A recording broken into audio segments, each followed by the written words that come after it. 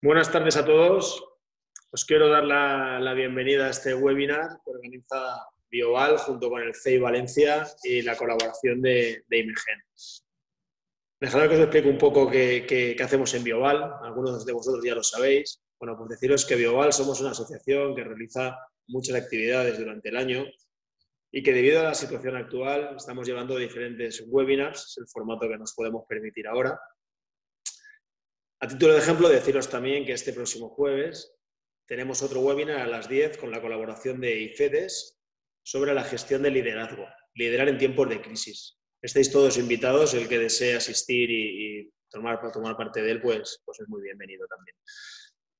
En el webinar que nos toca esta tarde, que, os queremos presentar, bueno, lo va a dirigir Ángela Pérez y tiene un currículum extensísimo y muy brillante. Voy a dar algunas pinceladas únicamente de, de ella. Bueno, pues Ángela es una emprendedora nata. Su clara visión de mercado de la medicina genómica le permitió fundar su primera empresa biotecnológica a la temprana edad de 23 años, en 1998. Asimismo, actualmente está involucrada en hasta ocho iniciativas empresariales diferentes, centradas en la genética y en la genómica. Entre ellas destaca IMGEN, uno de los líderes europeos como laboratorio de genética y genómica. En Imegen ostenta el cargo de CEO, es una empresa fundada en el año 2009 por un equipo de científicos con más de 20 años de experiencia empresarial. Se ha consolidado realmente como un líder en genética y en genómica. El objeto de este webinar son principalmente dos. Por un lado, conocer las diferencias entre los test de diagnóstico del COVID disponibles que existen actualmente en el mercado y segundo, concienciar a los diferentes colectivos de la necesidad de utilizar los test de la forma más eficiente posible. Desde que se declaró la pandemia, desde IMEGEN se ha trabajado en la puesta a punto de servicios y kits de diagnóstico del COVID-19 que ahora pueden ser utilizados para dirigir la desescalada. Evaluar el riesgo individual y colectivo de los profesionales para que se pueda incorporar presencialmente a su centro de trabajo y puedan utilizar esta información y estos test diagnósticos van a permitir a las empresas reiniciar sus actividades de una forma segura y con las máximas garantías. Sin más, tras esta pequeña introducción, os dejo con Ángela Pérez que nos va a, comentar un poco todas las eh, iniciativas que está haciendo Imagen, que se las conoce muchísimo mejor que yo. Muchas gracias, Ángela. No, gracias a ti, Carlos, como siempre. Para mí es un placer, eh, quería dar las gracias también a Bioval, por supuesto, para mí es un placer siempre eh, estar en mi casa. Realmente la asociación, el clúster eh, de empresas y organizaciones biotecnológicas de la Comunidad Valenciana, pues bueno, todos los que formamos parte de él nos sentimos como en casa y para mí es un honor y un placer compartir pues esta horita con, con todos vosotros. Como ha comentado Carlos, vamos a hablar un poco de los tipos de test disponibles ahora mismo en el, mercado. luego vamos a hablar un poco de ese protocolo, de, aquello que deberíamos hacer eh, las empresas o los colectivos para asegurarnos de que eh, desconfinamos a nuestro personal, de que incorporamos a las plantillas de forma presencial de la forma más segura posible. Os prometo que lo he probado.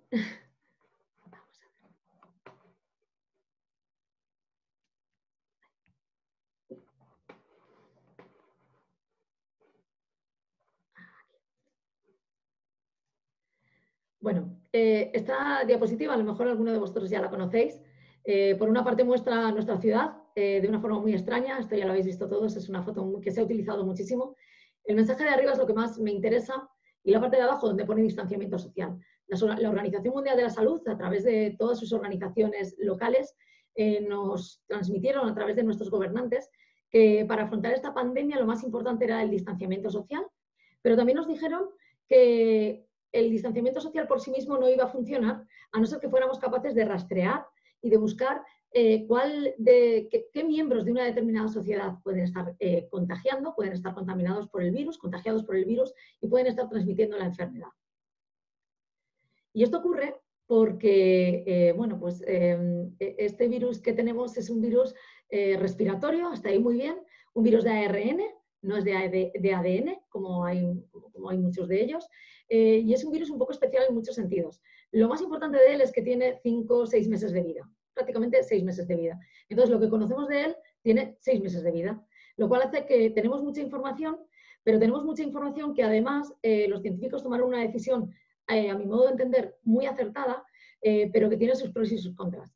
Aquella decisión que se tomó es que cualquiera que en su centro de investigación, cualquiera que fuera el país, hiciera un estudio y descubriera algo del virus, se le iba a permitir publicar en revistas eh, que hasta ese momento eran revistas que tenían referís aquellas personas que lo que hacen es revisar los datos y asegurarse que el que va a publicar publica datos, eh, digamos, pues con, em, eh, con, la certeza suficiente.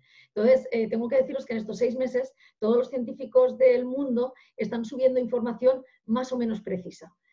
Creo que la ventaja que se obtiene de tener mucha información y de que todo el mundo encuentre la red para subir cualquier cosa que haya detectado es una ventaja gigantesca pero también creo que tiene el defecto de que se está dando determinada información que parece contradictoria y todos nosotros hemos recibido seguro que memes, eh, WhatsApps y, un montón de mensajes que parecen contradictorios, pero es que todos ellos han sido remitidos como veraces. Ahora el asunto eh, o lo que tendremos que hacer es dentro de una serie de meses pues eh, revisar toda esa información y pues asegurarnos de que la que se queda publicada o, o discernir entre qué información publicada es correcta y cuál no lo es. Bueno, pues me gustaría mostraros esta, esta gráfica eh, que muestra un poco el escenario actual y por qué nos tiene tan despistados este virus. Y es que el 30% de las personas que están contagiadas con COVID-19 eh, o que han pasado la enfermedad han sido completamente asintomáticas, no se han dado cuenta. Nosotros hacemos test todos los días, muchísimos test a trabajadores que, bueno, que, llegan a una determinada empresa y nos, eh, nos hace mucha gracia eh, comentaros, me parece una anécdota muy graciosa, que el que viene diciendo, uy, tuve muchos síntomas, yo en febrero tenía tos, tuve dos días de fiebre, esos generalmente eh, son negativos y por el contrario, personas que no remiten y dicen no haber tenido el más mínimo síntoma, se están encontrando más de una sorpresa, en este caso positiva y muy feliz, y es que han pasado la enfermedad no se han enterado y ahora mismo forman parte de ese eh, ansiada, ansiado grupo de, inmunes eh, que pueden pues bueno, estar tranquilos de momento eh, en, el planeta. Bueno, como, como veis, el 30% de la población entonces es asintomática, pero el 55% adicional, es decir, hasta el 85%, ese 55% tiene unos síntomas leves o muy leves. Ha tenido algún síntoma, un poquito de tos, un dolor articular, dolor de cabeza, eh, pero ellos no pensaban que era COVID. Bueno, luego todo el mundo lo puede pensar, pero no tuvieron en ningún caso la necesidad de ir al hospital. Por lo tanto, solamente tenemos un 15% de la población eh, que va a necesitar un hospital y va a necesitar, y de ellos un tanto por ciento pequeñito, afortunadamente, que va a necesitar una UCI. Lo que pasa es que el virus es absolutamente contagioso, muy pegajoso, y entonces lo que, lo que ocurre es que nos contagiamos muchísimos y es tal el número de personas contagiadas que no damos abasto en nuestros eh, servicios públicos. Entonces, bueno, en estas gráficas lo que os mostramos es, eh, con la línea rosa, es la carga viral, digamos, del virus. En el, momento, em, en el momento de la incubación del virus, el virus tiene una incubación de aproximadamente unos cinco días, es decir, entramos en contacto con él y tardamos cinco días en desarrollar, eh, en tener una carga viral alta. Ahí los asintomáticos pasarán sin enterarse con una carga viral muy alta, estarán en contacto con cualquier persona que entre en contacto, la van a poder contagiar y ese virus dejará de ser contagioso en esas personas más o menos sobre el día 14. A partir de ahí empezarán a desarrollar anticuerpos, eh, primero IgM y luego IgG, y os contaré luego después lo que son. Y en el otro caso, en el caso del 55% de la población, al tener unos síntomas graves o leves, lo que se ha visto hasta ahora es que el estado de viremia, es decir, el momento en el que la persona está contagiada con el virus, se extiende un poquito más allá del día 14 y estaríamos hablando de un día 22. O sea que hay una persona que los cinco primeros días no se entera, luego está contagiada y hasta el día 22 está potencialmente contagiando. Si los síntomas son muy leves, también puede pasar porque, bueno, me encuentro un poquito mal, me duele la cabeza, pero es que, eh, bueno, he tenido una reunión, no se lo esperaba y a lo mejor, pues bueno, está contagiando. Por eso es tan importante hacer los test. Bueno, os voy a enseñar, eh, estos son, esta diapositiva muestra los tres tipos de test que tenemos actualmente en la actualidad. En realidad son dos tipos, pero uno de ellos se puede realizar con dos técnicas diferentes. A mano izquierda tenemos el test de PCR, que es la prueba que detecta el ARN o el RNA del virus. Eh, es una prueba absolutamente sensible, ahora hablaremos un poquito de ella. Y ahí estáis viendo en una foto un producto que en este caso bueno, pues ha diseñado Imegen y que actualmente fabricamos en nuestras instalaciones, en nuestro laboratorio de Valencia y que comercializamos eh, no solo en España, en España mucho, pero también fuera de España, sobre todo ahora mismo en Latinoamérica y estamos empezando a trabajar con Estados Unidos porque en aquella, en aquella parte del mundo es ahora cuando están en pleno pico de la pandemia, algunos de ellos todavía no han llegado al pico y tienen ahora mismo el mismo desabastecimiento que tuvimos nosotros hace unas cuantas semanas. A mano derecha tenemos el test rápido. Cuando oigáis en la tele el test rápido, test de anticuerpos, test rápido, se refiere a este dispositivo que estáis viendo en la diapositiva. Este es un test eh, que se utiliza, se debería utilizar solo en emergencias, es muy, muy, muy parecido a, un predictor y eh, lo que te permite trabajar es con tres gotitas de sangre, mejor con un chorrito, pero tres gotitas de sangre también nos servirían y funciona exactamente igual que un predictor. Eh, lo que nos va a detectar es no el virus, ojo, yo podría hacerme este test y que me diera negativo y no tendría nada que ver, nunca respondería a la pregunta de si estoy o no contagiada con el virus. Lo que respondería es a una pregunta de si yo tengo anticuerpos o no tengo anticuerpos. Por lo tanto, si tengo anticuerpos, es que estuve en contacto con el virus en un momento anterior al momento en el que me hago el test y mi cuerpo ha desarrollado ese mecanismo de defensa, que son los anticuerpos, el IgM es el anticuerpo rápido de emergencia, el primero que reacciona a un cuerpo extraño, y el IgG es el que nos conferiría la eh, inmunidad permanente.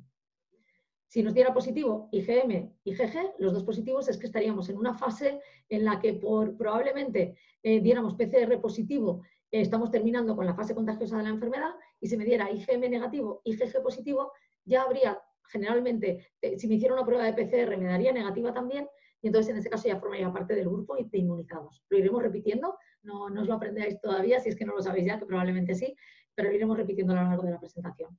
A mano derecha tenemos el test que en este momento, eh, bueno, pues estamos todos los laboratorios em, pendientes de validar. Es un test también muy sensible. Eh, en este caso detecta anticuerpos eh, IgA, IgM, IgG generalmente. La diferencia, el, el, IgA, que es el nuevo anticuerpo que ahora os presento, está presente en vías respiratorias, mientras que el IgM está presente más bien en fluidos como sangre, el sistema linfático, etc. Entonces es una cuestión de en qué sitio está presente. Y el IgG, insisto, es el que nos confiere la inmunidad, eh, digamos, permanente. Las características del test de PCR, pues es la técnica de referencia actual. Eh, tenemos, podemos hacer el diagnóstico temprano. Prácticamente dos días después de aparecer la sintomatología lo vamos a detectar. Y yo os diría que a partir del, quinto día de entrar en contacto con el virus ya tendríamos una carga viral lo suficientemente eh, alta como para detectarlo. Tiene una sensibilidad y una especificidad del 100%. Eh, y podríamos estar detectándolo hasta 30 días después del contagio y como hemos visto en la gráfica, en casos más bien de sintomatología pues ya leve. Eh, el problema que tiene, bueno, respecto a otras técnicas, es que requiere equipo y personal especializado pero nos va a permitir eh, automatizar, eh, las técnicas de PCR se pueden automatizar en robots y esto nos permite que podamos analizar muchísimas muestras al día. El Gregorio Marañón está analizando 1.200 muestras al día y muchos laboratorios, pues un SynLab, laboratorios de toda la vida tradicionales de análisis clínicos pueden estar eh, con sus máquinas y con sus robots a estas alturas de la pandemia, pueden estar analizando más de 1.000 muestras al día.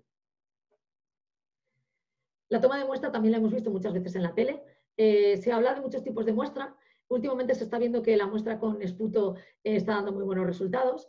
Eh, generalmente la que más se utiliza es la nasofaringea, pero fijaos que entre paréntesis os pongo la sensibilidad de esta toma de muestra. Y es que realmente cuando una PCR que debería haber salido positiva no sale negativa, generalmente no es tanto por el proceso que se lleva a cabo dentro del laboratorio, sino por el proceso de la toma de muestra. ¿De acuerdo? Es complicado, es una muestra un poquito invasiva si no se toma con mucha práctica, puedes hacerle daño al paciente. El paciente además le da mucho susto y tienes que hacerlo en unas condiciones, pues bueno, con una enfermera o con un enfermero muy entrenados. Eh, y aún así, pues eh, puede ser que cada individuo tiene una mayor o menor carga viral en, en, sus vías respiratorias altas y es posible tomar mayor o menor muestra. En los casos en los que se pone un poquito difícil el paciente, o bien no nos quedamos satisfechos con el resultado, cogemos una torunda y también hacemos una toma de muestra, como aquí pone, orofaringea. Esta sería la que a través de la boca metemos una, como un bastoncillo de estos de limpiar los oídos, es un poquito más largo, y hacemos un frotis eh, detrás de la campanilla. Tampoco es que sea mucho más agradable, pero, pero esta toma de muestra lo que hacemos es coger esas dos torundas, las metemos dentro de un tubo que, como veis en la foto, tiene un medio de inactivación de virus. Es un medio que mantiene el RNA a salvo nos lo deja íntegro para que podamos en el laboratorio analizarlo, pero tiene también un, componente de inactivación, lo que hace que podamos transportarlo de la forma más segura posible. Aún así, eh, lo que hacemos es meterlo, es importantísimo eh, y, es ilegal no hacerlo así, transportar las muestras en un triple envase. Tienen que estar en, un en una bolsa eh, herméticamente cerrada, luego la metemos en un tubo que está, es duro y no puede ser aplastado, y luego en una tercera caja, y con eso dentro de una bolsa lo mandamos por mensajería. Es muy importante que ante cualquier eventualidad sea imposible que el líquido de las torundas salga, a pesar de estar inactivado. Si nos hemos quedado sin medio de inactivación, no conseguimos las torundas tal y como las veis en la foto, que son ideales, pero que ya os digo que tenemos un desabastecimiento mundial, porque con literalidad, literalmente, todo el mundo necesita en este momento este, este kit y tenemos que fabricar nuestro propio medio eh, de transporte del virus. Generalmente el medio inactivante no lo fabricamos en los laboratorios y lo que hacemos cuando recibimos las muestras en el laboratorio es meterlas a 60 grados en una estufa y de esta manera matamos el virus manteniendo su ARN, su, su carga genética para poder analizarla. Bueno, estas son las máquinas que generalmente se están utilizando. A mano derecha arriba, esto es un extractor automático de, ADN. Este nos permite obtener 96, el ARN, a partir de las torundas, nos permite obtener el ARN de cada muestra de 96 en 96 cada 45 minutos. Con lo cual, pues pensad que en turnos, en dos o tres turnos de laboratorio, podríamos estar analizando o extrayendo el ARN de 1.500 eh, muestras a la vez. El equipo que tenéis justo a mano izquierda eh, es eh, el equipo de Real creo que he dicho izquierda. Me refería al de más de la derecha, el azul es el de extracción, el de la izquierda es eh, el equipo de Real Time PCR. Este es el realmente el termociclador que lo que te hace es, te permite hacer esa técnica de PCR, por la que es conocido, pues, que es la estándar en este caso, para el análisis del virus. Esta máquina lo mismo permite analizar aproximadamente en una hora y media de 96 a 96 muestras. Y abajo eh, os he puesto un equipo, me imagino que habréis oído la prensa, y habréis oído pues, a, cinco personas, eh, os diría de la calle, pero bueno, son profesionales eh, con muchísima experiencia eh, en este sector. Y lo que hicieron fue movilizar todos los recursos que tenían a mano para importar unos robots que se llaman OpenTrons y que, bueno, lo que he querido mostrar con esta foto es un equipo muy famoso, es, es, un laboratorio o un robot, o los robots que tenemos que tener en un laboratorio para realizar este tipo de análisis de forma automática, Em, y en este caso es el Open porque bueno, pues conseguimos en España que estas cinco personas eh, consiguieran donaciones por importe de mm, millones de euros, aproximadamente entre 10 y 15 millones de euros, de grandes empresas que querían eh, poner, aportar su granito de arena, pero no querían hacerlo directamente a través de, redes eh, asociadas, asignadas al gobierno, prefirieron hacerlo directamente con personas que compraban estos materiales. y entonces todo, en este momento hay cinco hospitales ya en España que están trabajando con estos Open Trons. En realidad, veis estas cabinas, estas cabinas aproximadamente en Valdebrón, en La Paz, en el Clínic de Barcelona, ahora ya también en Canarias, en la FE de Valencia, bueno, y en multitud de hospitales, hasta un total de 23, tienen toda eh, de, donación todos estos equipos robots automáticos eh, que han donado pues, estas grandes empresas a través de este grupo que se, bueno, ellos mismos se autodenominan los cinco Mindundis. Y hay un artículo muy gracioso, lo veréis en prensa si os apetece leerlo, en el que ellos mismos dicen, eh, bueno, pues cuentan esas cosas tan bonitas ¿no? que, tiene esta pandemia, que tiene algunas anécdotas, eh, algunas, eh, algunos ejemplos terribles de cómo se puede, y que hemos oído en prensa también, de cómo se puede revender material a determinado precio, de cómo se puede timar auténticamente a gobiernos enteros, cómo se puede jugar un poco con la vida de las personas. Os aseguro que nos hemos encontrado con todo tipo de esa de esa especie de gentuza, y sin decir especie, esa gentuza. Eh, y sin embargo, pues a mí, por ejemplo, el ejemplo del Open Trons me parece maravilloso, como cinco personas eh, pues dedicaron su tiempo a conseguir que comprar cientos de unidades de este robot, traerlas de Estados Unidos, instalarlas en los hospitales. Les costó, os aseguro, en algunos, con algunas eh, organizaciones, con algunas consellerías, con algunos hospitales, conseguir siquiera la persona de contacto para hacerles esta donación. Luego vinieron unos ingenieros eh, americanos que tuvimos que meter en un avión con muchísimo, muchísimo cuidado y con muchas precauciones. Estuvieron aquí cinco días eh, y luego empezaron a, ocurrir cosas como eh, llamamos a Apple o llamaron a Apple y le dijeron necesitamos ordenadores y alguien dijo, Apple dijo ¿cuántos y dónde te los pongo? mira, este, en este caso no tenemos mesas y IKEA dijo ¿cuándo y dónde te las pongo? Y así todos y cada uno de los proveedores, incluido una empresa como Manpower, que dijo, bueno, pero ahora necesitamos también ingenieros que aprendan de los americanos y luego se queden programando el resto de unidades. Y la propia empresa de empleo temporal dijo, vale, pero no lo van a hacer en forma de donación, porque los ingenieros así lo querían. Eh, y lo que hicieron fue, Manpower pagó a estos ingenieros durante el tiempo que necesitaron para instalar estas máquinas en los hospitales. Bueno, me he enrollado un poco, pero es que me parece una historia tan bonita en tiempos en los que la pandemia ha dejado tantas historias tan feas que quería contárosla para, aquello que, para aquellos que no lo supierais. Bueno, lo que, los pasos de una PCR se extrae a partir de la muestra tomada eh, del paciente, el ARN. Este ARN se somete a una técnica de PCR que consiste en localizar de forma específica tres regiones, en este caso del virus, eh, las busca en la muestra, si las encuentra, las replica billones de veces y en esa pantallita que tiene ese equipo, en tiempo real vemos el crecimiento del el número de copias del virus que, por tanto, se ha encontrado en la muestra y, por tanto, el resultado va a ser positivo. Aquí, eh, a ver, sí. Eh, aquí os presento al coronavirus, aunque ya hemos visto por todas partes. El, coronavirus tiene, tiene, tiene, este aspecto y veis las proteínas E, S y N, que son generalmente aquellas que se buscan cuando se hace eh, la técnica de, PCR.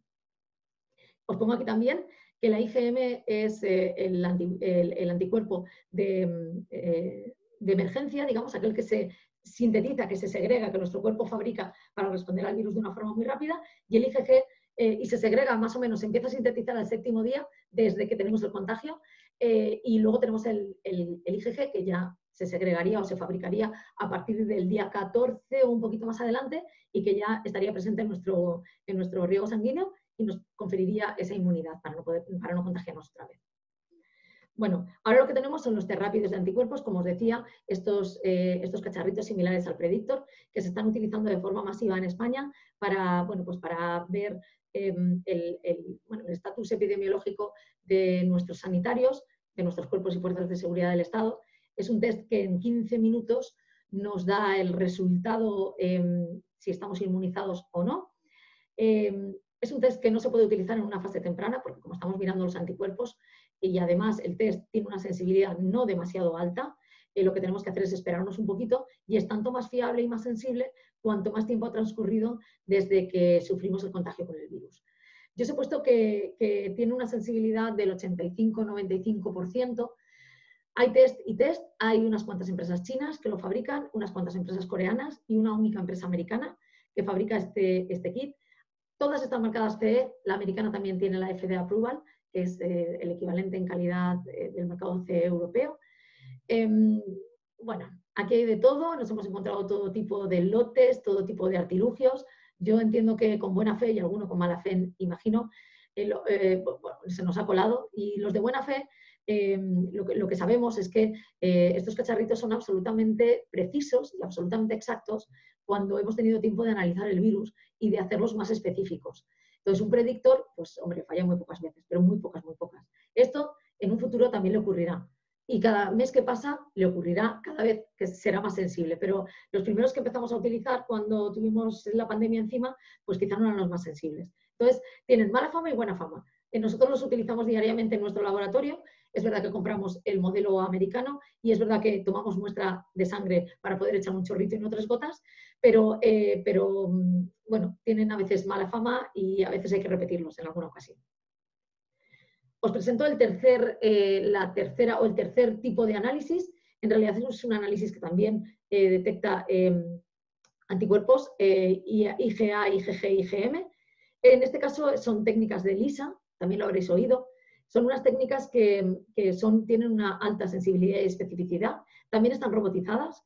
Eh, os he puesto el equipo más sencillo que hay, hay algunos robots que tienen metros y metros de longitud eh, y nos permite trabajar a gran escala.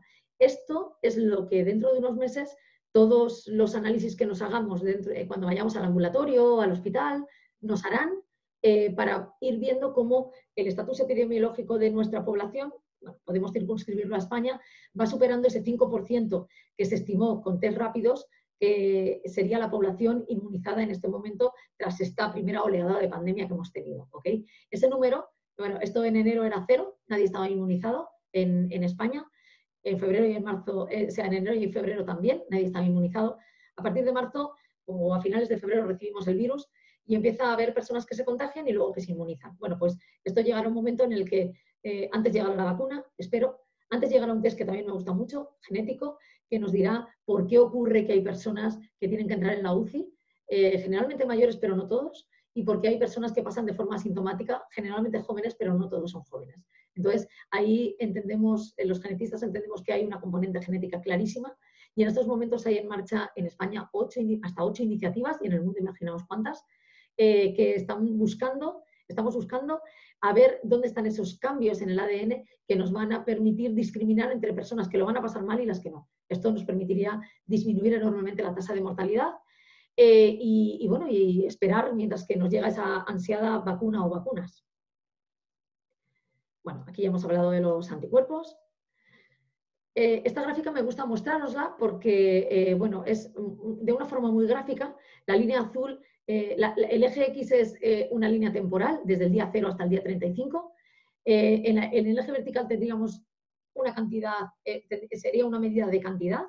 La línea azul eh, es el equivalente a la carga viral, es decir, el virus en el momento cero tenemos cero, en el, entre el, día 7 y el 14 tendríamos una carga viral máxima, entre el día, a partir del día 5 empezarían los síntomas en aquellas personas que van a tenerlos. La curva verde hace referencia, bueno, y a, partir del día 21 en los casos menos sintomáticos o más leves, eh, a partir del día 21 empezaría a disminuir la carga viral y entre mm, los asintomáticos incluso sería antes, ahí, ahí, ya empezarían a no ser contagiosos, nos daría una PCR negativa y estas personas ya eh, empezarían con su eh, inmunidad. La línea verde son los IgMs, la cantidad de IgMs. Veis que se sintetiza casi casi a la vez que va creciendo el virus, vamos fabricando este anticuerpo que, de respuesta y que es el causante de esos problemas antiinflamatorios que hacen que muchas personas vayan a la UCI. Realmente a veces no es tanto que el virus sea malísimo, malísimo y pretenda matar al huésped. Generalmente, y esto es una cosa que me gusta mucho decir, los virus, como todos, buscamos la supervivencia. Entonces, un virus, si mata a su huésped, eh, como los virus utilizan al huésped para replicarse, si el virus mata al huésped, eh, no tiene ninguna posibilidad de continuar.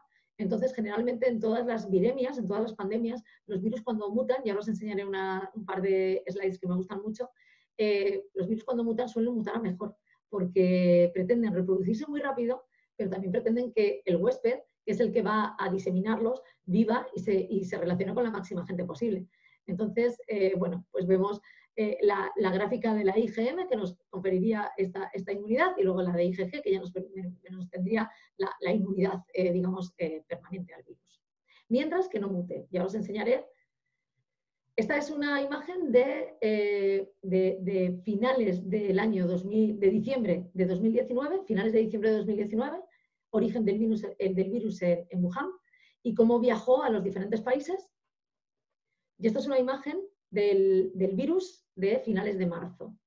Veis diferentes colores y esos diferentes colores corresponden a las cepas del virus. Un virus de ARN, una de las características que tiene es que es, muta con mayor facilidad que un virus de ADN. Con lo cual, esas mutaciones pueden ocurrir en determinados sitios que son muy importantes y el virus no prospera y esa cepa no continúa, o pueden ocurrir en sitios, esas mutaciones pueden ocurrir en, esos genes eh, del virus que son muy importantes o que le confieren determinadas eh, características. Por ejemplo, la cepa que veis roja, que es actualmente la que tienen en Estados Unidos, es una cepa que se sabe que es más contagiosa que la cepa eh, morada que tenían en Wuhan originalmente. Entonces, el virus no ha mutado hacia una forma más dañina para su huésped, que es el, ser humano, pero sí ha mutado hacia una forma más contagiosa y esto va mucho en línea con lo que os comentaba antes de que los virus buscan la supervivencia o, les aplica la misma, eh, la, misma ley de Darwin que a todos el resto de organismos. Esto también es una representación gráfica de las cepas. Si veis a mano izquierda, tendríamos una única línea, era la cepa original en Wuhan, la primera que se secuenció, eh, bueno, esta información la tenemos porque hemos cogido virus en diferentes países y los hemos secuenciado completamente, los hemos metido en secuenciadores automáticos eh, enormes de, alta, de alto rendimiento y hemos obtenido cepas completas, genomas completos del virus. Actualmente existen más de 4.000 genomas publicados que sirven a los científicos para diseñar el mejor kit de PCR, la mejor prueba específica para anticuerpos y toda la investigación molecular se basa realmente en todo el conocimiento que obtenemos.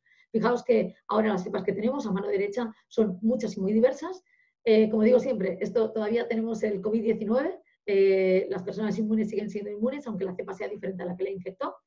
Eh, y, bueno, hasta que haya una cepa lo suficientemente diferente y que sea viable, pues, pues estaremos, estarán inmunizados los que hayan fabricado ese IgG. Con esto terminamos la parte en la, que, en la que hemos comentado los tipos de prueba, que a mí me parecía muy importante para entender por qué determinadas afirmaciones que hemos oído no tienen tampoco mucho sentido. Y a mí me gustaría que después de este seminario eh, tuviéramos, tuviera muchas preguntas, tuvierais muchas preguntas que hacer, pero sobre todo también que, que dijerais, ya tengo un poquito más de criterio o, he oído algo que explicaba aquello que no acababa de entender bien y que me contaba un periodista de una manera y otro periodista de otra manera. Entonces, en ese sentido, eh, me ha parecido importante dedicar estos minutos a contar los, tipos de test, porque pues cuando empezamos a ver esto de que tenemos que hacernos todos test, vale, pues vamos todos al test rápido, ¿no? Es el test que tenemos, es un test relativamente barato, eh, tenemos acceso a él, hay muchos, se está fabricando de una forma masiva en China, pero es que este test no es el ideal para saber si alguien eh, está en, tiene la posibilidad de contagiar. el test que se tiene que utilizar para saber si estamos eh, en disposición de contagiar a alguien es el test de PCR. Con lo cual, no es una cuestión de qué test tengo disponibles, sino que es una cuestión más bien de qué test es el adecuado para, cada momento, para, cada decisión que voy a tomar. Os presento en esta diapositiva pues, los tres estatus que ahora mismo podemos tener, en el que podemos clasificar a la población.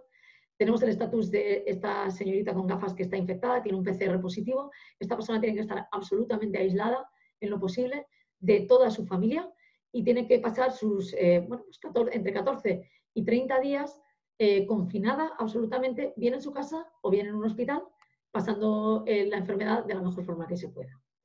A continuación, en el centro tenemos donde estamos, el, pues os diría que el 95% de toda la población española en este momento, que somos una población de riesgo, que nunca hemos estado en contacto con el virus y por tanto tampoco tenemos anticuerpos, y a mano derecha, y os he puesto esta foto de doctor porque en esa población eh, tenemos eh, muchas más eh, personas en esta categoría, es un, doctor que está inmunizado, tiene una PCR negativa porque ya pasó la enfermedad y tiene anticuerpos positivos, con lo cual es inmune al COVID-19. Y voy a empezar a contaros un poquito el protocolo que Imagen ha desarrollado para intentar poner un poco de luz, para, para poder Em, solventar algunos de los hándicaps que nos encontramos cuando eh, oíamos en la tele que ni siquiera teníamos test para nuestros sanitarios, pero ya había empresas reclamando que necesitaba hacer test a sus trabajadores para volver al trabajo. Teníamos a un montón de personas que estaban trabajando en una empresa de alimentación que estaban, tenían 14 días de cuarentena de baja porque habían tenido un día de fiebre y sin embargo teníamos posibilidad de hacer test a estas personas para evitar que tuvieran una baja muy prolongada y sobre todo que no se vieran alterados esos turnos que hacían que el resto de la población que seguíamos confinados en casa eh, pues, pues pudiéramos ir al supermercado y tener, eh, tener los alimentos y tener, eh, porque había parte de la población que estaba trabajando y que no se podía permitir el lujo ni de estar en una baja que no le correspondía porque no estaba infectado, ni de estar trabajando si estaba contagiando con la posibilidad de contagiar al resto de sus compañeros.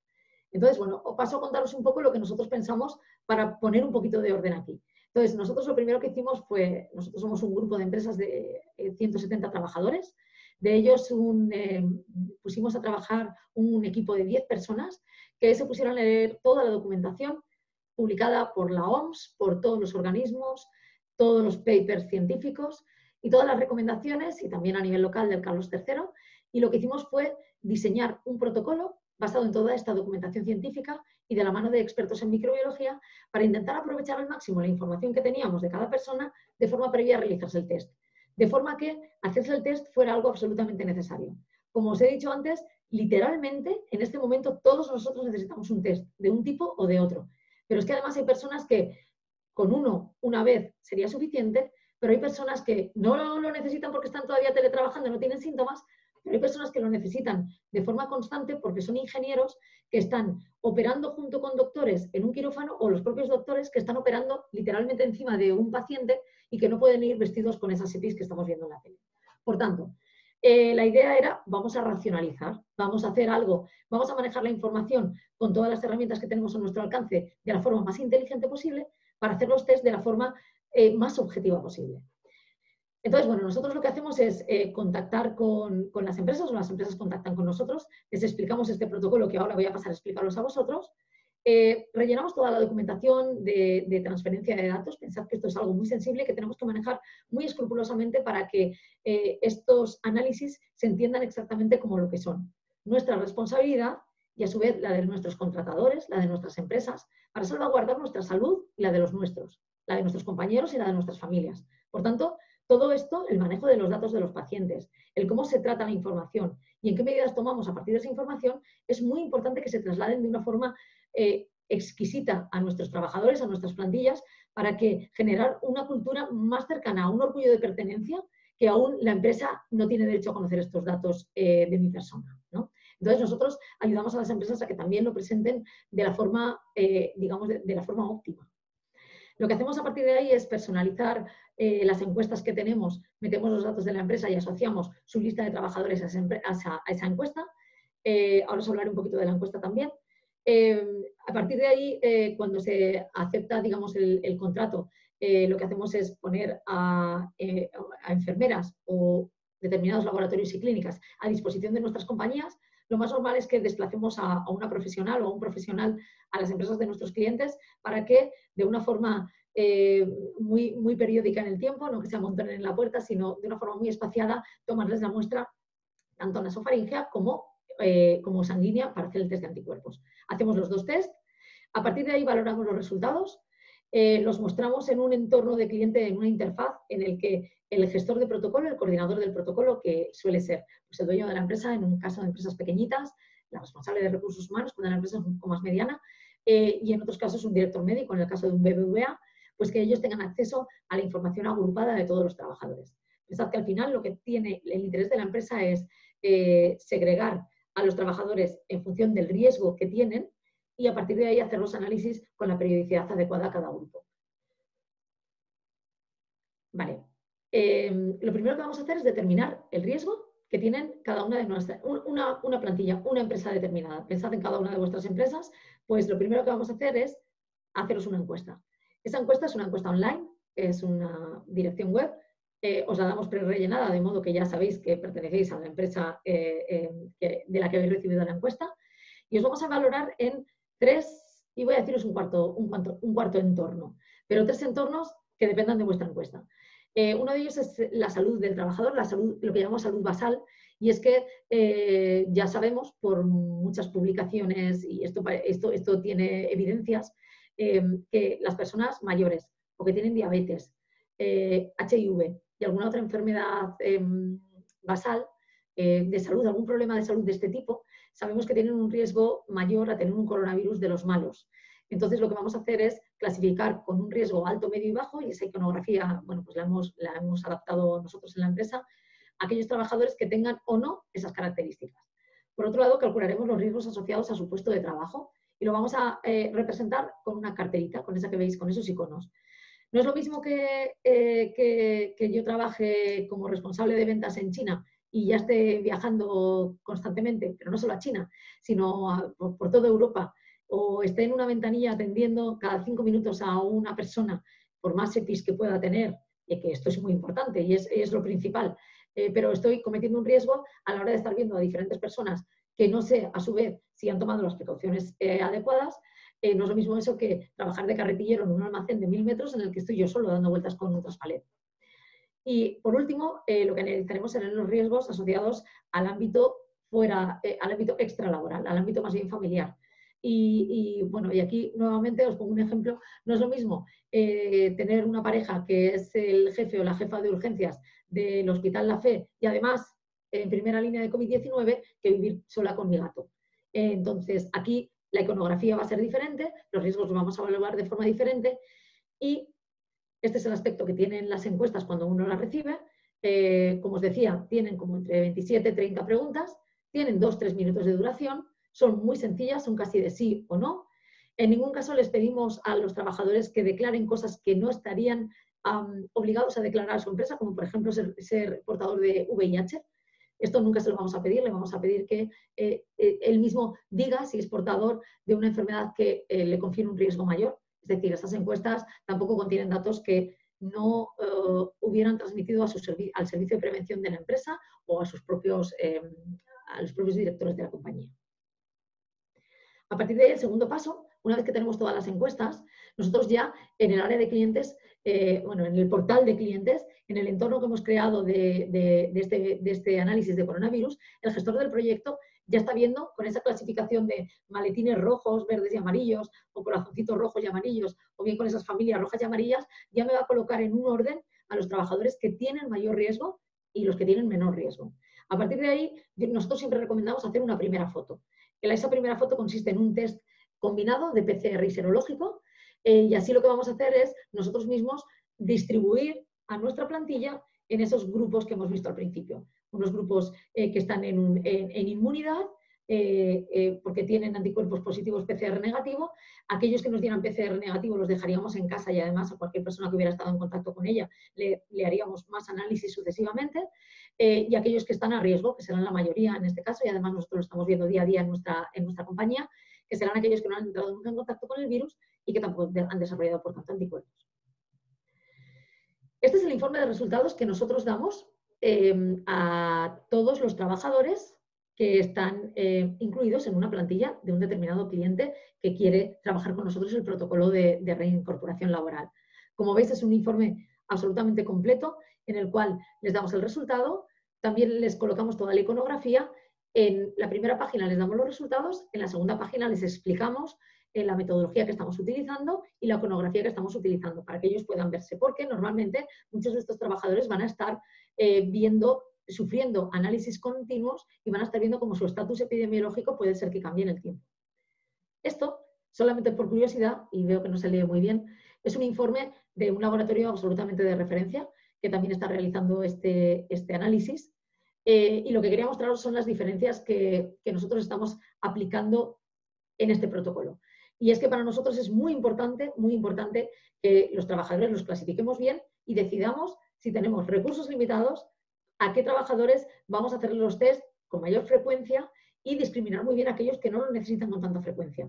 Porque así distribuiremos bien los recursos para nuestra economía eh, empresarial, para nuestra propia empresa, porque estos análisis, por cierto, tampoco es que sean muy baratos, eh, y os contaré por qué.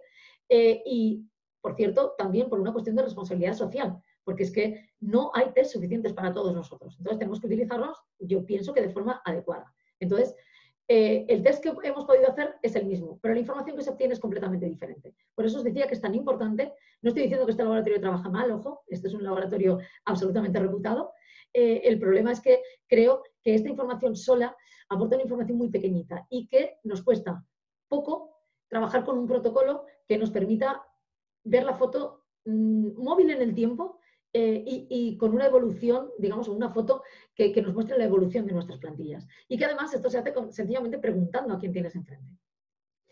Vale. Al final, eh, lo que vamos a hacer cuando tengamos los resultados de los test es clasificar a todos nuestros trabajadores en estos seis estatus epidemiológicos. Los hemos representado de esta manera, con colorcitos, y al final vamos a acostumbrar a todos nuestros trabajadores a que se vean reflejados en estos colores. Entonces, el más habitual es el, el moradito y el más afortunado es el verde, a vuestra mano derecha, que es el que tendría, estaría inmunizado. Y esto es lo que recibe la empresa. La empresa tiene una, pantalla en la cual eh, no, es exactamente esta, es realmente la que ve la empresa es, esta, otra que os voy a enseñar ahora. Esta es un poco para presentarosla a vosotros. Es la clasificación, eh, son las diferentes posibilidades de clasificación que nosotros podemos tener. Por ejemplo, eh, en, las primeras, en la primera línea eh, pues eh, tenemos una iconografía que representa a alguien que se ha infectado y entonces lo dejamos en teletrabajo hasta que nos dé la segunda PCR negativa. Tendremos que hacer la PCR una semana y a la siguiente semana, si nos vuelve a dar negativa, eh, lo podríamos reincorporar a la empresa, pero hasta ese momento tendría que hacer teletrabajo. porque estaría resolviendo la enfermedad. Sería el, paso justo anterior al icono verde que veis en la segunda línea, que, que ya puede incorporarse presencialmente porque está inmunizado y tiene una PCR negativa.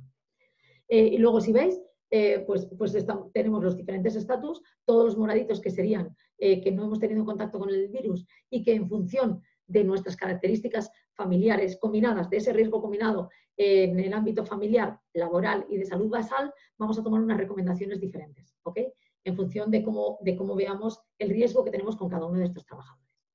Al final, lo que ve la empresa, he querido haceros una captura de pantalla del portal de clientes en este caso, eh, bueno, le faltan un par de columnas que tienen los nombres y, la, identidad de cada trabajador, pero veréis que les damos eh, su estatus, el primer icono es el estatus basado en los análisis de PCR y de anticuerpos, los otros tres, insisto, la salud basal, perdón, salud basal, el riesgo familiar y el riesgo profesional. Tenemos en cuenta una cosita más que no os he dicho, que no depende tanto de la encuesta que tienen los trabajadores, sino de dónde está mi empresa. Si mi empresa está en un pueblecito de Lugo o en Vallecas, hay grandes diferencias. Nosotros estamos constantemente viendo dónde se publican los brotes y rebrotes de enfermedad y si nuestros clientes están en alguno de esos puntos, también reforzamos los análisis eh, en, esa zona donde tenemos al cliente. Bueno, y como veréis, damos una serie de recomendaciones a la empresa.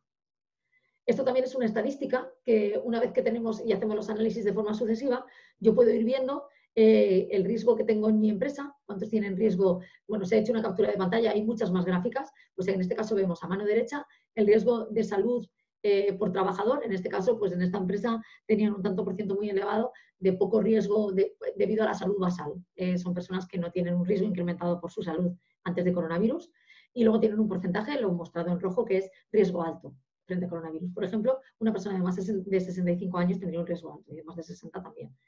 Y a mano izquierda, por ejemplo, tenemos el estatus epidemiológico de la compañía de una forma agregada. Muchas veces el, responsable, el gestor del protocolo, no quiere estar viendo el resultado concreto de una determinada persona. Él se movería por los iconos y diría, a este tipo de iconos le voy a hacer este tipo de análisis periódicos, a este otro tipo de iconos, este otro análisis periódico. Es una forma absolutamente objetiva de eh, hacer los análisis. Luego el presidente y el gerente de la empresa se harán más, pero, o, no coincidirá, o sí, pero vaya, que eh, si querías un criterio objetivo, te lo vamos a dar. Los principales beneficios yo creo que los hemos ido comentando. Es generar espacios de trabajo libres de COVID, seguros para toda la plantilla. Estamos pensando todo el rato de cara a la plantilla, al contagio de los compañeros de unos con otros, pero también tenéis que pensar qué ocurre cuando queramos montar en un crucero, qué va a ocurrir cuando montemos en un avión, qué va a ocurrir cuando en nuestra empresa empiecen a entrar los clientes por la puerta. Esto es muy importante porque podemos utilizar el protocolo, que en sí mismo es una cultura que tenemos que, em, digamos, trasladar a nuestras plantillas también con nuestros clientes y nuestros proveedores. Esto es una nueva forma de vida, esa nueva normalidad de la que hablan. Pues bueno, eh, en mascarillas, EPIs, geles hidroalcohólicos, lavado de manos, creo que lo tenemos todos absolutamente interiorizado. Creo que el tema de los test es algo que todavía nos queda por hacer. Y mi objetivo hoy ha sido, eh, sinceramente, contaros que se puede, que se puede manejar la información y que realmente eso que, esos rastreadores que cuentan en, la tele y, esos trabajos que se hacen epidemiológicos van un poco en esta línea. En que, bueno, y esas aplicaciones de, móvil que tienen los chinos y ahora otros europeos, en los que rastrean quién ha tenido la enfermedad, quién no, y tú ves en tiempo real con quién te mueves. Eso es maravilloso. Eso no es, bajo mi punto de vista, eso no es intrusión. Eso es como, cuando os he comentado los artículos científicos, es que las ventajas de saber quién hay a tu alrededor potencialmente contagiado o quién tienes potencialmente inmune es importantísimo, es más importante que la desventaja de que tú te estés mostrando como una persona que contagia o que no. Ojalá pudiéramos hacer eso y pudiéramos eh, saber los contagiados que lo estamos y están en casa y no estar por la calle y, bueno, y, de alguna manera eh, em, eh, que pudiéramos utilizar todos los medios, toda la información, todo el Big Data, inteligencia artificial, etcétera, para hacer los análisis y el resto, tomar las medidas de la forma más racional posible. Como os he comentado, esto bien planteado a las plantillas, eh, lo que hacen no, es que el comité de empresa eh, piense si tienen que hacer estos análisis a los trabajadores, que por cierto, la AEMS, la Agencia Española del Medicamento, ya se ha decantado y ha dicho que en estado de pandemia la empresa tiene derecho a conocer los resultados de los trabajadores, de los test de los trabajadores. Porque realmente la empresa lo que quiere es salvaguardar al resto de la plantilla y asegurarse de que las bajas que está asignando son las correctas.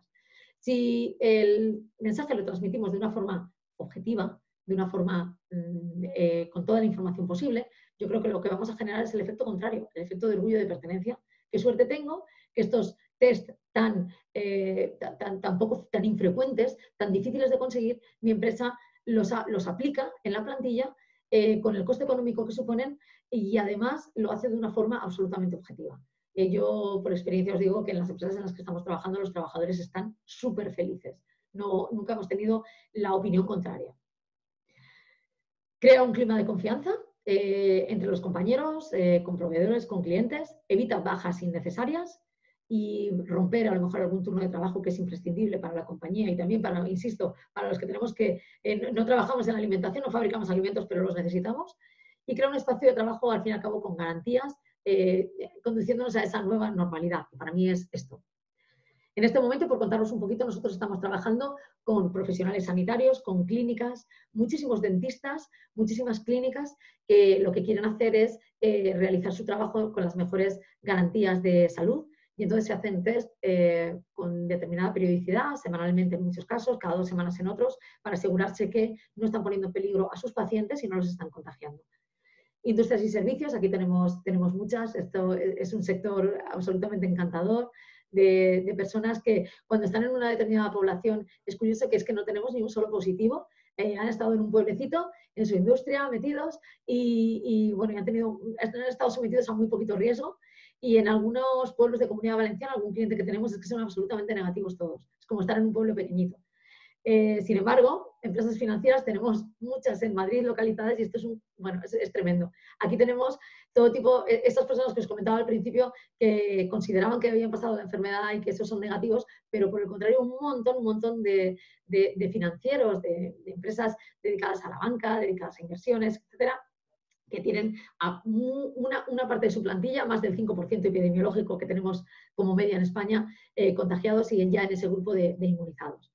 Y también tenemos administración pública en algunos ayuntamientos y mancomunidades se han puesto en contacto con nosotros para que podamos aplicarles este protocolo eh, bueno, pues a, sus, organizaciones.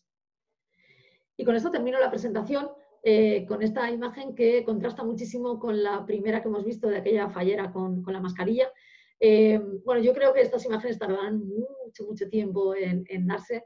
Creo que tenemos que pasar la pandemia y tener vacunas eh, a tope, los congeladores llenos de, vacunas para poder volver a una situación así, pero qué duda cabe que nos encantará a todos los valencianos. Si hubiera hecho esto en, otro, en otra localidad, hubiera buscado otras imágenes. Esto es un, eh, bueno, pues mostrar las imágenes locales, ¿no? Qué duda cabe que a todos los valencianos nos, nos va a gustar volver a la, zona de la Marina a ver un concierto y estar así de juntitos con el resto, o participar en la Maratón de Valencia, súper conocida mundialmente de esta forma. Pues vamos a ver lo que pasa mientras tanto, mientras nos fabrican las vacunas, mientras nuestros investigadores descubren esa predisposición que tenemos algunos respecto a otros de tener un COVID peor. Y os dejo también, bueno, por supuesto, mis coordenadas, por si tenéis cualquier duda. A mí me gusta siempre tener, eh, yo, bueno, trabajo casi 24 horas, no tengáis ningún problema. Y utilizo todo tipo de mensajerías automáticas, WhatsApp y aplicaciones de todo tipo. No tengáis problema en trasladarme cualquier pregunta que tengáis, cualquier sugerencia. Y em, em, nada, arriba os he dejado en YouTube eh, un enlace en el que una compañera, eh, esto sí, con un perfil mucho más técnico que el mío, lo que, lo que eh, tuvimos un webinar en el que explicó pormenorizadamente con mucho más detalle cómo es el virus, cómo se transmite, los tipos de test y que si tenéis, bueno, pues una hora que perder, así una hora muy tonta y os apetece mucho, pues, pues ahí os dejo las coordenadas para que lo podáis ver en cualquier momento. Con eso quedo a vuestra disposición para responder a todas las preguntas. Eh, lo que ocurre es que lo tengo abierto, pero, pues María, me ocurre que no las veo. Tengo abiertas las preguntas, pero no las veo. A ver, si alguien tiene preguntas puede utilizar tanto el chat como lo de preguntas y respuestas para que Ángela conteste ahora. yo te acabo de enviar algo, ¿lo has visto, Ángela? Em, en preguntas, ¿no? ¿Me las has enviado? En chat. Mira a ver si hay alguna pregunta por ahí aparte. No la veo. No, pues igual no, igual no hay preguntas. Vale.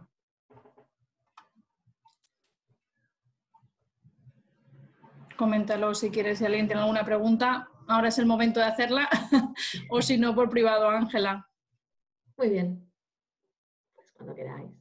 Aquí, aquí Pedro dice que lo has explicado todo muy bien, que no hay preguntas. Qué bien, qué bien. Víctor González, muy claro todo, gracias. Pues bueno, eso también puede ocurrir que, que haya sido absolutamente cansina. absolutamente cansina. Mira, ahora tenemos una pregunta. Que haya sido absolutamente cansina. Lo he repetido tantas veces que, es que hayáis dicho, ah, aunque sea después de comer, ya me ha quedado claro, pero espero que no haya sido así. Eh, Luis también dice que ha sido una magnífica exposición, o sea que por lo menos, por aquí están diciendo que está todo muy claro, Ángela. Oye, pues me quedo más tranquila, ¿eh? A ver, yo Para es muy importante, ¿eh? No sé si habéis notado que es absolutamente, esto, esto me lo tomo como personal, no sé, es, como el granito de arena de, jo, vamos a hacer las cosas súper bien, ¿no? Si estamos, está en nuestra mano.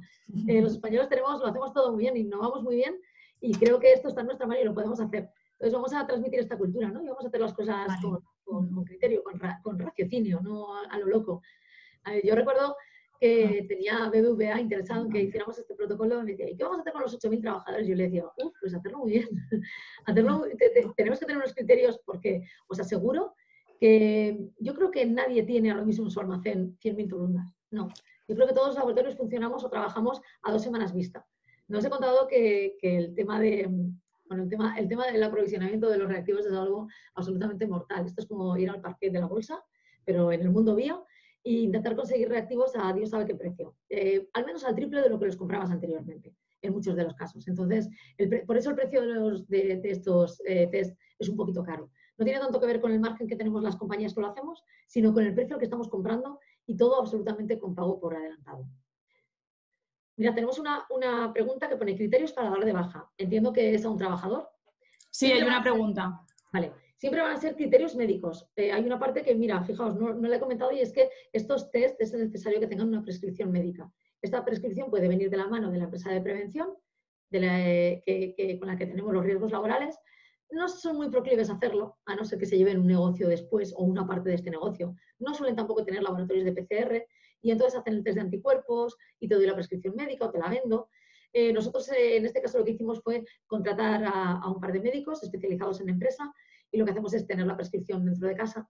Eh, entonces siempre va a ser un criterio médico. Y la baja se va a producir cuando se tengan síntomas compatibles con COVID, pero además con un solo síntoma, con una fiebre alta un día, te vamos a mandar corriendo a casa y aquel que haya estado en contacto con él casi también. Y eso es un poco el problema. El problema es que, mm, e, es que vamos a meter en, baja y en sus casas a gente que a lo mejor no tiene el COVID. Y os lo digo por experiencia porque nosotros, claro, obviamente nos hacemos los test, eh, no todos, solo las personas de laboratorio los que están a turnos y los que tienen que sacar los test de los demás. Y me ha ocurrido ya, bueno, tengo un caso, tuve un caso positivo que detectamos inmediatamente y esa persona fue confinada y no tuvimos que confinar a nadie más, pero semanalmente he tenido dos personas que tenían fiebre, les hemos hecho el test, han dado negativo, les hemos hecho uno enseguida para confirmar, ha seguido dando negativo y esas personas se han incorporado a la plantilla, no han estado de baja y pensad que las bajas no es solo un daño para las empresas, las bajas las pagamos entre todos, con lo cual tener 15 días a una persona angustiada, mira, es que personalmente estoy angustiada porque no sé si tengo COVID. La empresa lo tiene de baja y a lo mejor lo necesitaría, porque es una persona que tiene una experiencia que no tenemos tanto reemplazo en la empresa. Pero es que además a todos los españoles pagamos con esa seguridad social la baja de esta persona. Es que es malo para todos. El precio del test, por más caro que sea, que no lo es tanto, eh, no, compensa todos esos sufrimientos que muchos de ellos son hasta económicos y mayores. ¿La mutua puede hacer los test? Entiendo que es una pregunta. Sí, es una pregunta. Eh, la empresa de prevención, eh, en muchos casos, como os digo, lo que han hecho es comprar eh, los dispositivos test rápidos y en muchos casos ellos hacen los test rápidos. Los test de PCR siempre van a tener que subcontratarlos pues, con un SynLab, por ejemplo, con un IMEGEN, por ejemplo, también, o con un laboratorio. Nosotros trabajamos para algunas de las compañías de, prevención, de las mutuas de prevención. Em, generalmente ellos las de PCR es muy difícil que las hagan, hasta el propio, te diría que hasta el propio Quirón Prevención, que es la primera empresa eh, de prevención del país, con diferencia respecto a la segunda, eh, no tiene sus propios laboratorios para hacerlo en este momento. Entonces, yo creo que esto siempre lo van a subcontratar. También es verdad que están mucho más predispuestos a hacer em, los test rápidos que los test de PCR. Es muy rápido, son 15 minutos, lo hacen sin personal específico. En los casos de PCR tenemos que desplazar a una enfermera a la empresa, bien sea de la mutua o bien de IMG o de Sinlabo, el correspondiente. Una gran comunicadora, muchas gracias a vosotros. A ver, Ángela, por el chat tienes dos preguntas más, que es más o menos, si puedes decir más o menos el precio orientativo. Claro, claro que sí. Mirad, los test combinados eh, tienen un precio en el mercado estándar, ¿eh? no solo el de Imagen, de unos 150 euros. Cuando los dos, eh, el de PCR y el de anticuerpos. La proporción un poco sería, el de anticuerpos tendría que costar, yo lo he visto entre 40 euros, que me parece un precio más lógico, y hasta 60, y, el, y el test de PCR vendría a costar como pues, pues la diferencia, unos 110 euros, aunque podría costar hasta 125 euros en los casos en los que hacemos preoperatorios, en los que tenemos que trabajar sábados y dar el resultado en el mismo día, y también podrían ser absolutamente baratos cuando tenemos una empresa de mil trabajadores en los que tenemos que ajustar un poquito, compramos de otra manera y por tanto también gastamos de otra manera. Entonces, pero para que os hagáis una referencia serían unos 150 euros. Y yo lo que recomendaría son esos 150 euros, a cualquier empresa le recomendaría hacerlo la primera vez cuando incorporéis a vuestros trabajadores del teletrabajo a la empresa, si ya los tenéis en la empresa, lo hacéis esa vez, vamos a ver el resultado y vamos a hacer la encuesta cada vez que cambie un poquito el estatus o cualquier cosa en nuestras condiciones, a nuestro alrededor, y así eh, iremos actualizando muy bien los datos y solo gastaremos aquello que sea indispensable. ¿Ok? ¿Y cómo podemos hacer para contactar con ustedes? Bueno, Jesús. Jesús, tú, tú, a mí me contactas como tú quieras. Tú ya sabes que te vienes a tomar café a mi casa, si quieres, vamos, y si no, pues por fórmulas eh, más, estándar o más formales. Eh, pues cuando quieras, cuando quieras lo hablamos y, ya sabéis, por supuesto, que, que, las empresas del ámbito de Bioval, por supuesto, van a tener sus descuentos especiales. Que parece esto, ya termino con el corte inglés. Creo que no me dejo nada más.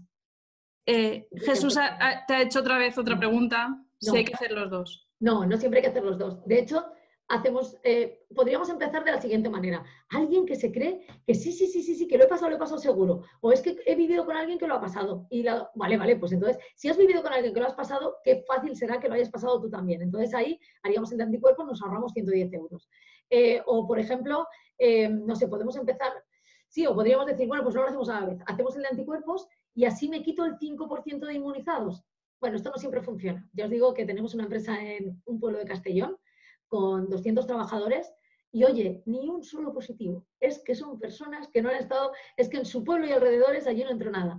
Eh, entonces, bueno, podemos hacerlo con todo el cuidado. Sobre todo, también a veces lo que conviene es hacerlo al revés. ¿Qué presupuesto tengo? Y entonces lo que hago es, eh, solemos hacer los dos para tener esta información, para manejar esas gráficas, para tener ese portal de clientes y como punto de partida, como una foto inicial, pero podemos plantearlo de cualquier otra manera. Yo soy tan fan de esto que a las empresas que me dicen, es que es muy caro, no puedo, y digo, pues, pues hazte solo el protocolo, que es gratis. Ah, por cierto, no lo he dicho, el protocolo es gratis. Eh, eh, hazte el protocolo, haz las encuestas, coloca a tus trabajadores y míralo de vez en cuando. Eh, y mira a ver, y si mm, en un momento dado tienes a alguien con síntomas, pues ya tienes la, información de partida y el día siguiente está la enfermera allí para hacerlo. Nosotros estamos encantados, ya os digo que es cultural, ¿eh? personal y cultural. Así es que estamos encantados, no nos cuesta ningún trabajo.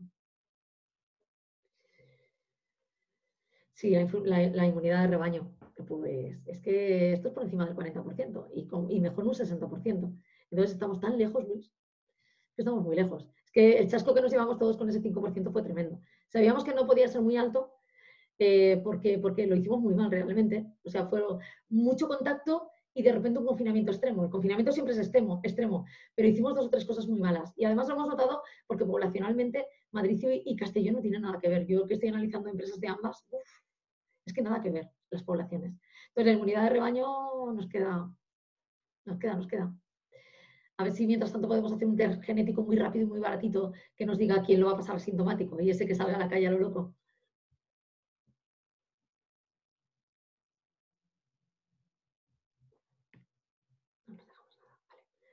Yo estoy aquí con vosotros toda la tarde, ¿eh? pero si queréis, que yo eh, también, me puede ocurrir que esté aquí hablando y hablando y tenéis otras cosas que hacer, que yo no pararía tampoco. hay, otra, hay otra en preguntas y respuestas. Ángela, ¿la ves o te la digo? Las personas que atendemos al público diariamente, ¿qué precio estimado nos va a costar? Vale, ay, perdona, sí, la estoy viendo ahora. Eh, bueno, eh, si no es un protocolo de empresa, yo aquí os he venido a contar el protocolo de empresa, no tanto a vender mi libro, pero oye, ya que estamos, eh, digamos que, mm, este protocolo para empresas estaría destinado a empresas y, y, tiene la información la dada de una manera determinada. Si quisiéramos hacer el test a un particular, ese modelo de negocio también lo tenemos. Nosotros un día o dos a la semana viene una enfermera a, a nuestra empresa y allí atendemos a pacientes, pues, pues lo que os digo, autónomos, empresas muy pequeñitas, muy pequeñitas, que evalúan a algunos de sus trabajadores periódicamente, luego personas eh, pues que van a ir, quieren ver a su abuelita en la residencia y quieren hacerse los test, personas que tienen una pedida, esto ya, hay motivos y motivos, y algunos nos encantan y otros no tanto. Eh, pero bueno, en todo caso, si te parece, ponte en contacto con Imegen, tienes mis coordenadas ahí, por supuesto, también lo puedes hacer, te pones en contacto con nosotros y te daríamos una cita. Y lo que haríamos sería darte un test que ya no te va a poner, si quieres te hacemos la encuesta particularmente, no tiene mucho sentido, se evaluaría solo individualmente, pero te haríamos el test, eh, el que quisieras, el anticuerpos, el de PCR, nos cuentas un poco cómo, em, cómo, cómo, has vivido el confinamiento, síntomas, no síntomas, y, y no, bueno, pues podemos trabajar contigo, claro que sí. ¿Y cuánto nos va a costar? Sí, bueno, más o menos lo mismo. eh, más o menos lo mismo, dependería si es uno o los dos test, pero el precio más o menos es un estándar de mercado como unos 150 euros, el de PCR solo 110, el de anticuerpos como unos 40. Vale. En el chat hay otra, si se sabe cuál es el avance de las investigaciones para conseguir la vacuna. ¿En qué lugar estamos? Eso son unos lobbies tan tremendos que, chicos, me da miedo. Em, han salido un par de noticias muy esperanzadoras españolas que me han sorprendido, porque salían incluso antes que la empresa moderna eh, americana, si no recuerdo mal, no me hagáis mucho caso, si he patinado lo siento, pero creo que la empresa moderna, que se llama Moderna, no, eh, americana, creo que es la que dice tener todo más avanzado, pero también os digo que en estos tiempos de pandemia, coronavirus y gran crisis y crack económico, creo que las empresas harían cualquier cosa en forma de comunicación para subir un poquito sus acciones en bolsa.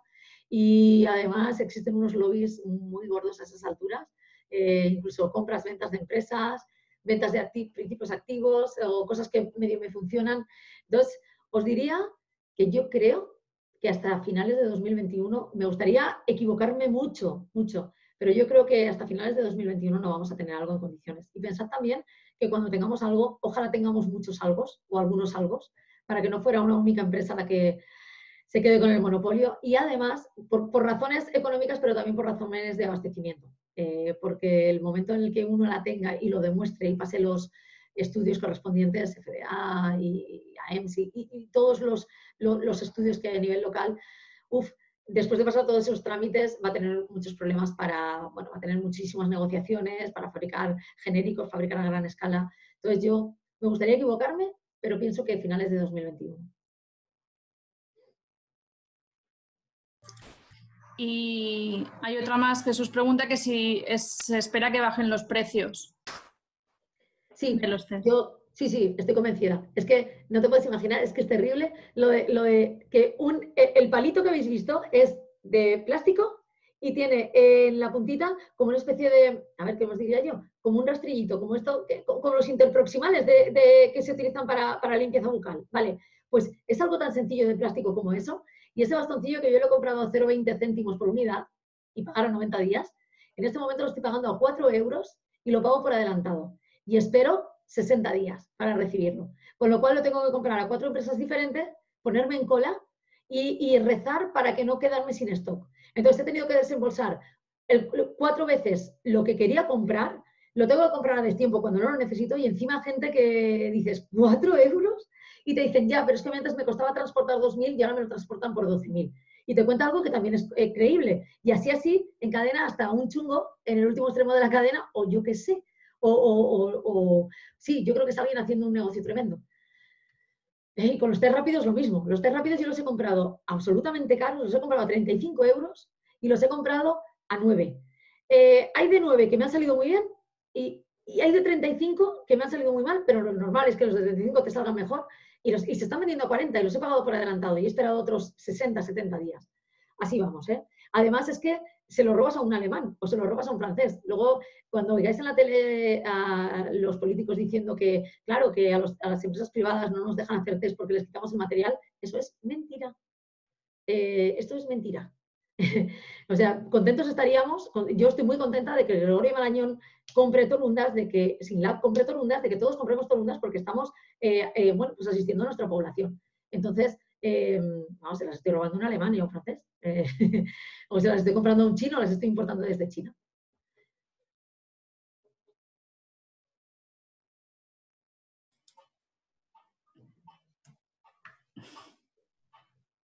Bueno, en todo caso, eh, si os parece, como tenéis mis coordenadas, insisto, eh, cualquier cosa me, comentáis.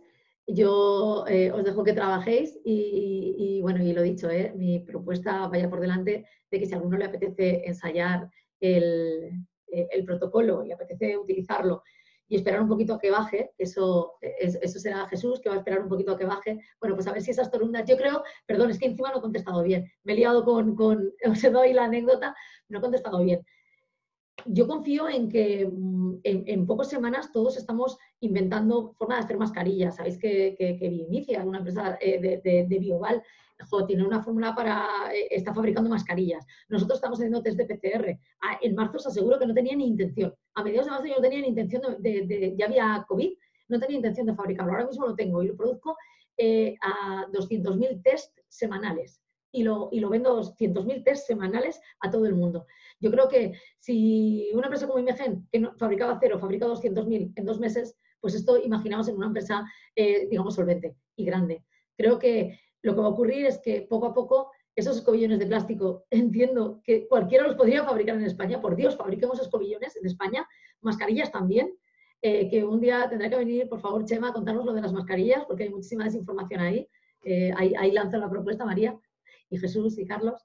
Eh, entonces, que nos cuenten también por qué, pero creo que vamos a aprovechar esto para montar una industria local eh, de kits, de robots, de mascarillas, de EPIs, de escobillones, y en ese momento volverán las cosas a costar 0,20 y por tanto no tendrás que cobrarlas a 4 más los costes de financieros. Es que es 4 euros. Bueno, es que no, me callo.